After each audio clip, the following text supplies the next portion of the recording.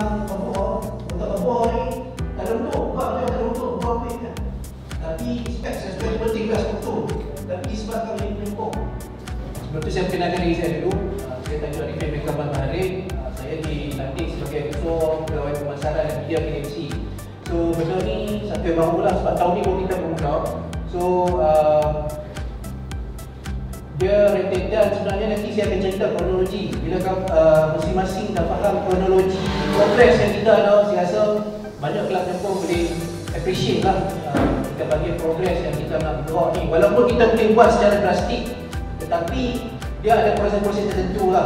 Kita kalau terlalu drastik ni kita tarik tali bawah tu dia putus tu kan dia lah dia mungkin kali ni daripada dalaman ni kita gunakan konsep tarik pelan-pelan biar tepung tak selera. Ha, macam tu kan? Jadi ada struktur korporat syarikat kedai Deraman FC itu sendiri mungkin ramai yang betul yang kedua je nanti kita akan terangkan perancangan-perancangan kita.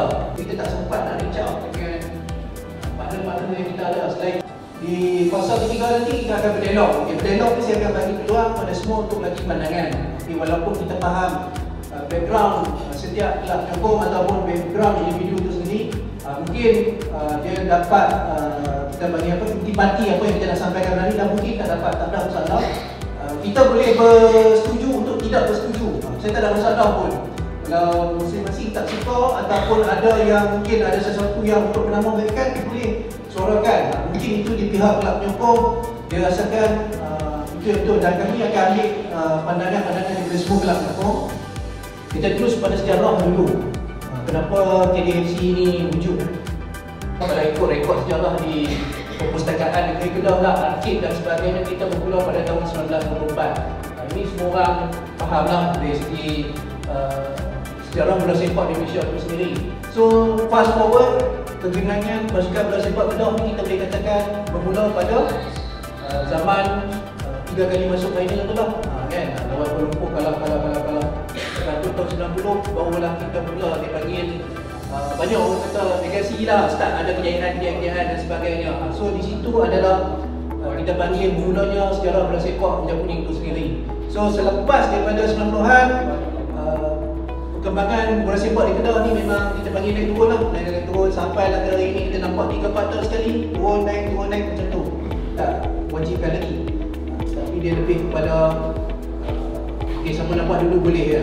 Okay. Tapi start 2021 dia dah suruh dah semua kelab buat. Sorry, 2020 wajib buat tapi banyak yang tak bersedia dan IO ataupun syarikat yang kita perbadankan cuma kita amat terima kasih lah yang kerajaan negeri uh, yang uh, dipimpin uh, di uh, yang Muhammad Datuk Seri Muhammad Sanusi Haji Muhammad Sanusi yang uh, yang telah mengambil masa 2 tahun saja untuk menstruktur hutang ni dan akhirnya dalam proses untuk di settlekan 100%.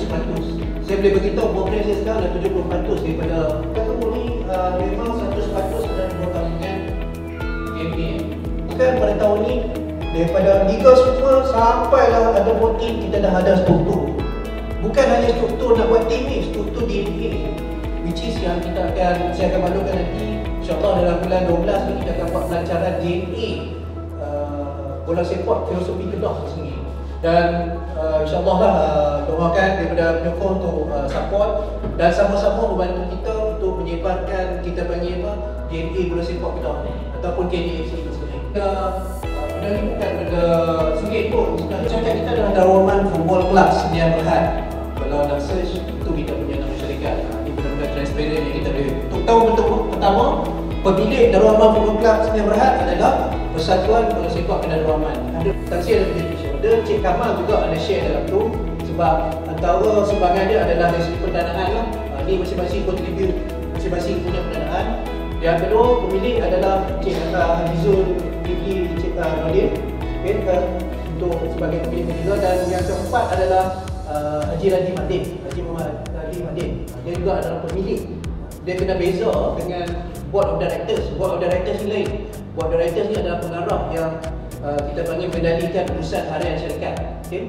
Uh, jadi pemilik ni dia sebenarnya lebih kepada pendanaan ataupun dari segi dia dah menentukan polisi uh, secara tak langsung lah kepada sebuah syarikat. Jadi buat masa sekarang uh, semenjak 30 Ogos yang lepas ada empat orang pemilik uh, yang, yang yang kita apa uh, di, di, di hantarkan di SSM dan board of directors masih dua orang lah sekekal daripada tahun 2020 uh, pilihan dia nak ada kandungan atau ability yang tinggi uruskan pasukan profesional AA dan juga juga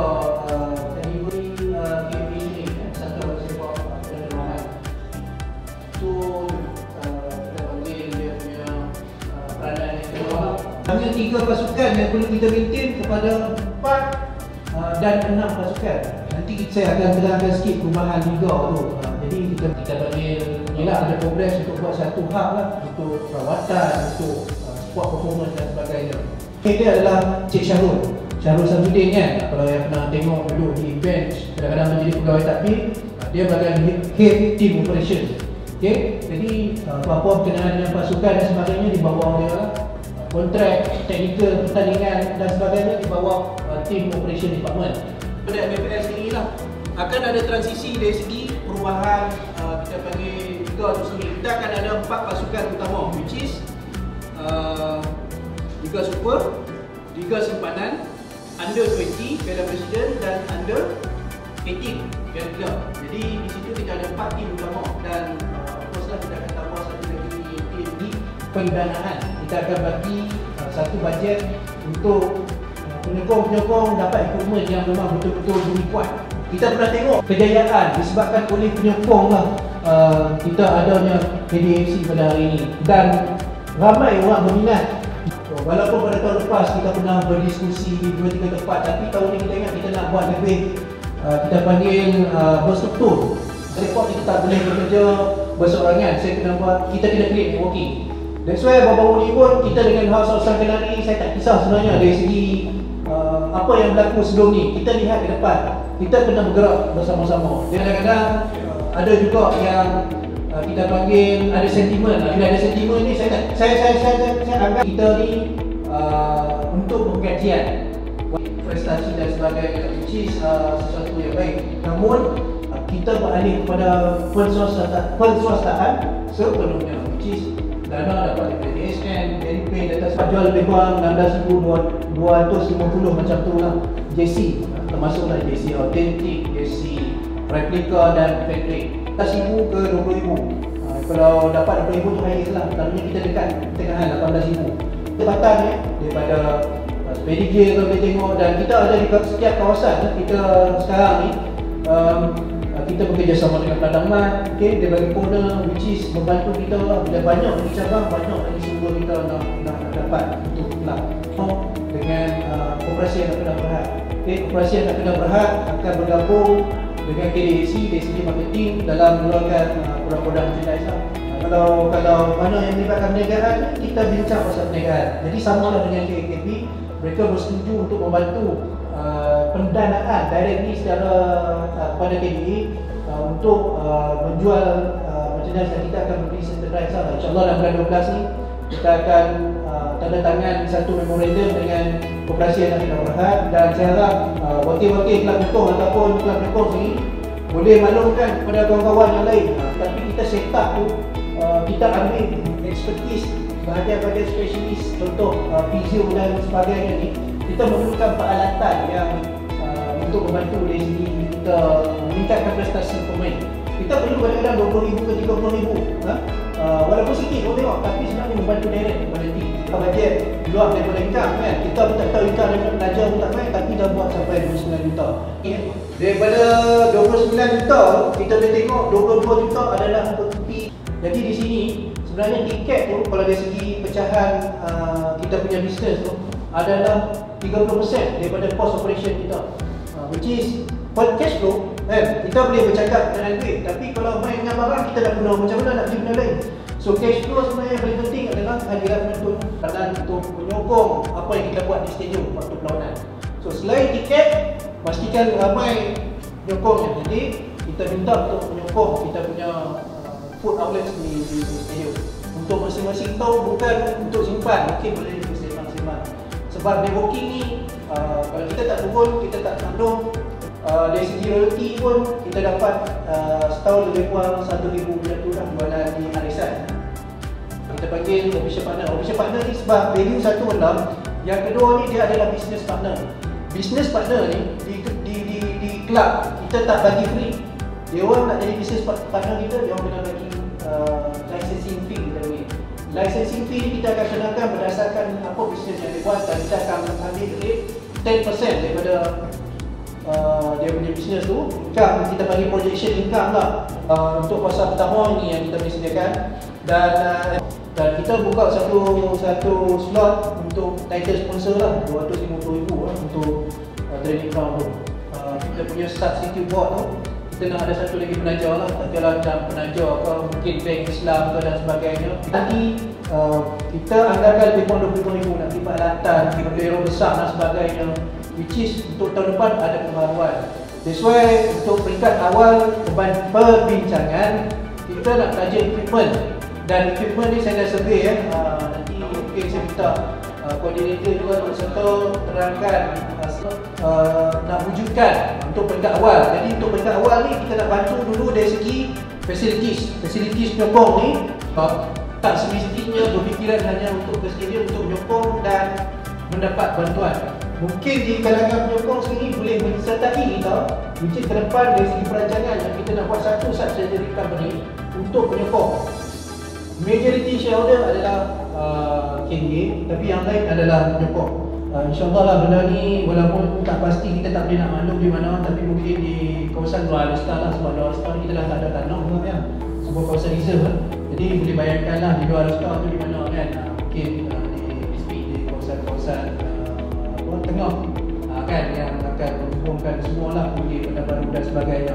Benda tu saya tak boleh nyatakan di sini tetapi luar Alustar sebab Alustar ni dalam sana kita Tan Sri yang walaupun dengan kesibukan dia tu sambil-sambil tu dia tetap nak nak nak slot in. Si punya betul korporat dan harap daripada kita peringkat kelab penyokong sini dapatlah gambaran. Kan mungkin tak pernah ada taklimat kita bagi korporat macam ni walaupun bukannya full pun tak cepat tak ada cuma saya nak tunjukkan di situ itulah flow kita dan kita perlu hargai berlakunya progres dan bukannya tak buat-buat langsung. Itu yang saya nak nyatakan. Progres ni berlaku disebabkan keterbukaan uh, pihak atas untuk menerima uh, bukan ikut daripada telefon ni ikut daripada saya sendiri. Saya pun kadang-kadang kita perlu uh, tengok masa yang sesuai dan bila. Macam saya cakap tadi lah kita dah ingat operation ni jadi uh, saya di, di, di peringkat kelab ni uh, mencari jalan yang kita panggil win-win situation lah. Terus ni akan mungkin buat penyataan. Uh, sebab sekarang ni semua masih dalam kontrak. So kita hormatlah kontrak dia sampai 30 November siapa kekal, siapa continue tak perlu kita maklumkan di sini. Dan saya ingat tu saya kata saya nak ubah sikit. Bila kita jumpa dengan penyokong uh, mungkin kita tak sembang sangat. Siapa nak masuk kan? Saya dulu style kan? Kita mungkin boleh berbincang berkenaan apa kita nak buat pada tahun depan. Apa yang kita boleh bantu? Uh, macam mana penyokong boleh memberikan peranan? Kita saya punya jalan tadi lah uh, mungkin boleh create networking. Bantu pula mungkin boleh uh, bertanya dan kita akan uh, reply lah mana yang di bawah kita yang tak puas hati pun boleh beritahu dan kita akan perbaiki jika benda di bawah kita punya konsol jadi uh, mungkin Cik Tini boleh sambung sikit lah. Saya serahkan pada Pilaras. Saya lantik Pilaras ni bukan ketua.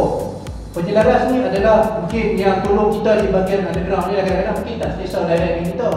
So di kalangan penyokong nanti berbincang lah. Kita tak nak kontrol, dia tujuan dia bukan kontrol. Macam saya abang tadi dengan kawan kita bersetuju untuk tidak bersetuju. Ha, itu kena ingat. Okey, Assalamualaikum semua. Uh, Terima kasih. Kepada kawan-kawan yang lain Terima kasih saya awal-awal kepada Abang Man Terima kasih Man Dan juga Mas Eko Vida Our senior punya kawan-kawan Selepas support, saya rasa HTC dia Monopoli kita pada Tahun 2005 Saya Permulaan Perbincangan dengan, dengan uh, struktur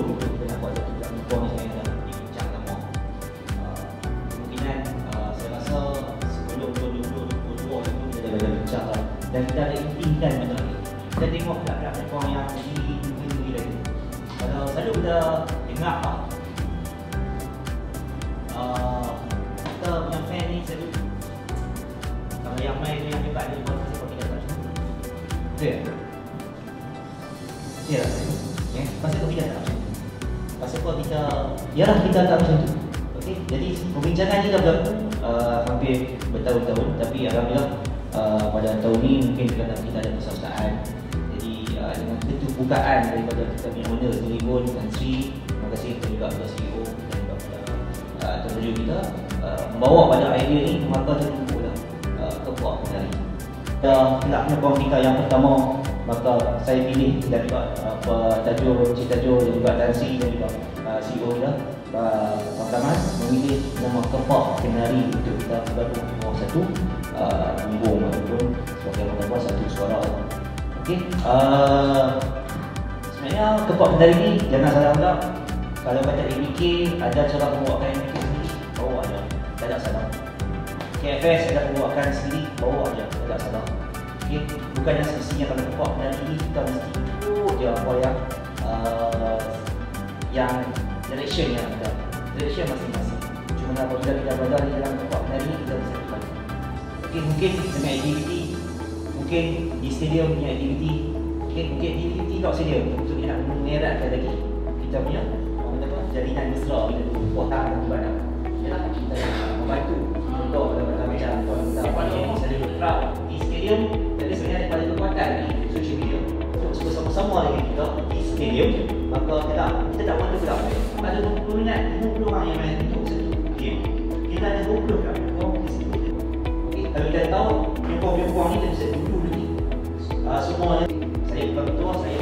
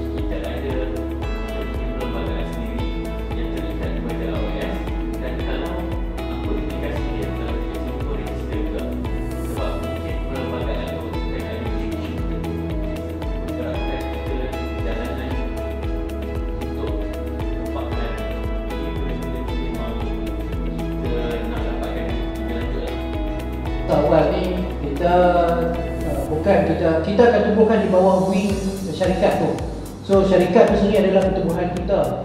Cuma di bawah struktur tu kita wujudkan satu uh, uh, penyokong which is Kepak Kenari. Uh, dia isu pendaftaran ni satu sebab bila kita bergerak uh, dengan kita panggil uh, kita panggil bila catering umum lah kita perlukan satu status di bawah undang kan uh, sebab dia tak boleh berhimpun lebih daripada walaupun sekarang ni dah ada akta baru apa uh, perhimpunan uh, apa uh, akta perhimpunan dan sebagainya tu. Jadi uh, peringkat awal ni lah masa awal ni uh, kita sebenarnya kita nak uh, target on membership. Membership dan keduanya kita nak target on activity dahulu. So kepak kedari ni kita akan wujudkan di bawah satu wing uh, under struktur syarikat di bawah pemasaran. dia, dia memang bertanggungjawab pada orang dia juga bertanggungjawab pada pemilik macam tak kena dari segi ini patutnya CEO tu orang lain bukan taman boleh tanya dekat syarikat korporat lain tu. Kebanyakan pemilik dia tak kena CEO CEO ni kena orang lain. Patutnya diiklankan untuk kita dapat orang yang ada capability untuk dia run syarikat ni. Dalam structure syarikat ni dia memang penting dan dia memang bertanggungjawab kepada BOD dan juga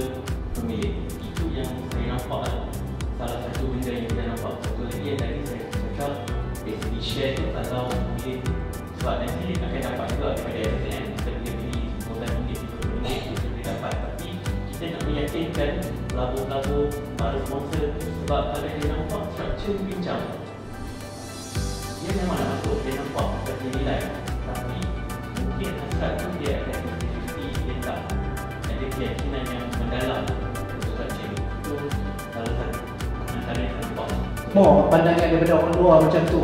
So uh, mungkin saya background legal saya boleh terangkan sikit saya pun dia tak semestinya bila di dalam BOD uh, CEO tu tak duduk dalam BOD walaupun kita tahu akan berlaku konflik sebab dia buat kerja dia nak buat polisi. So mungkin saya pun nampak benda ni entiti yang berasingan sebab mudah lah dari bila buat polisi kita boleh audit orang tu. So takkan dia nak audit diri dia sendiri, saya faham.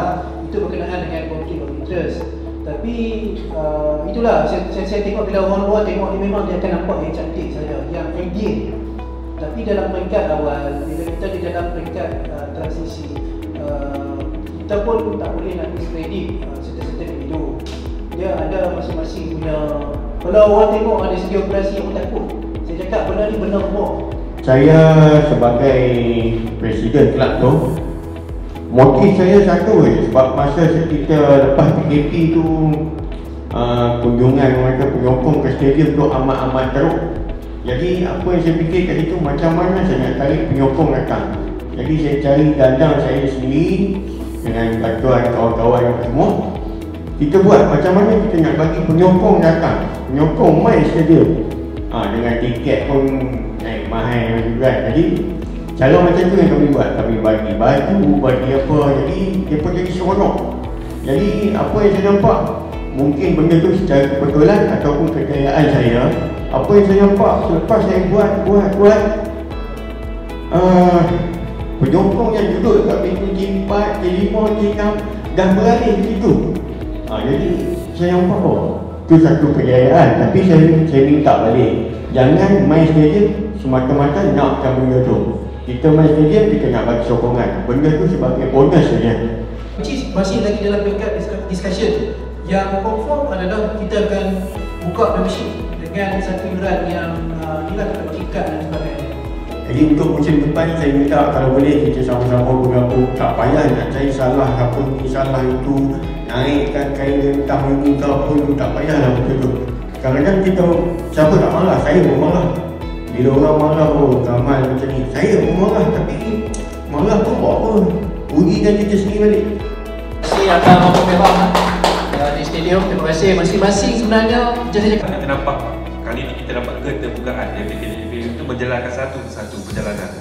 Selama ni agak orang kata zaman covid mungkin kita agak terhang dengan information jadi kali ini nampak lebih jelas di mana satu persatu pada tangan di mana kita oh kata ini macam soft launch untuk tahun depan. Jadi perancangan-perancangan macam ini penting supaya kita kelab menyokong tak tanya buat andaya sendiri, buat rumah sendiri. Jadi target untuk tinggal dalam masa sama kita kedah ni kita bukanlah golongan-golongan yang berada. Rata-ratanya adalah golongan-golongan orang kata kais pagi makan pagi ada juga petani ada juga jadi semua tu besar hati cuma bila kita letak sesuatu nilai dalam bentuk duit yang tinggi mungkin dia akan menyukarkan kan jadi itu sajalah pandangan dari kami Okey, terima kasih Anak apa lah mungkin? Siapa ni? Ha? Sekejap Ha, dah Liza, okey Uh, untuk tahun ini kalau kita tengok bilangan penyokong ke stadium uh, tak seperti kedah yang sebelum ni kan eh. jadi pasalnya uh, kita nak uh, KAFC punya management uh, untuk ada satu mentality untuk meletakkan penyokong adalah stakeholder yang paling utama sebab kita akan main dengan penyokong daripada public kalau tak letak penyokong adalah utama uh, duit takkan main. Ah, dia akan main tapi tak seperti yang diharapkan kan? sebab apa? Uh, Kedah ni dia punya komuniti penyokong dia sangat besar. Di kita saya sembah lah, saya tu semua tahu lah weekend mesti ada lah orang saja lah. Jadi uh, kalau tak letak penyokong stakeholder yang paling tinggi uh, harian tak akan dapat apa yang dia rencanakan uh, penyokong ni adalah the first lah. Kita main ni bola ni bola ni ada ni. Pasal penyokong lah kalau kata tak ada tak ada jadi kalau kata kita tu uh, ada perancangan yang cantik tersusun tapi stakeholdernya bukan penyokong saya rasa susah lah nak dapat apa yang dijanjikan Ah, juga berita ni kita dapat duduk dalam satu komuniti yang yang harmoni ada masalah ke apa-apa saja ke kita selesaikan dengan suasana yang cukup betul sekali untuk sama-sama kita ke depan ya banyak orang cakap berbagai masalah sebelum-sebelum ni kita ambil benda tu sebagai satu iktibar untuk kita menambah baik untuk kita bagi cantik lagi. Komunikasi dua halal antara manajemen dan kelab nyokong itulah paling penting. Bila tiadanya komunikasi sebelum ini. Jadi saya menyambut baiklah usaha daripada KDAFC untuk uh, buat program ini dan harus diteruskan uh, kegerapan tu insyaAllah kita kita harapkan pihak- Sebulan sekali boleh pun Sebulan sekali. Pun dalam kelam Ah, kita bergantung bergantung kepada kepada keperluan lah. keperluan. Kalau ada banyak isu-isu yang berbangkit yang perlu diperjalankan kepada kelab Jepang teruskan. Kita akan buat signing terus bila akan pergi coach lah, bila coach uh, available terus buat uh, di di sini uh, sign dan terus bersama media. Kita tak mahu itu. Tapi announcement kita buat cepat lah ni. Tak ada ke- uh, tak ada peluang untuk orang spekulasi terlalu lama lah kan. InsyaAllah saya yakin dengan semangat mufakat kita kita mampu untuk buat sesuatu yang baik untuk kehidupan kita. Okey, terima kasih yang uh, saya pun sebenarnya uh, dapat juga teks daripada Tan Sri dengan situ untuk sampaikan salam. So sebelum kita tutup tu kita bacalah tasbih Iqra dan surah Al-Nas.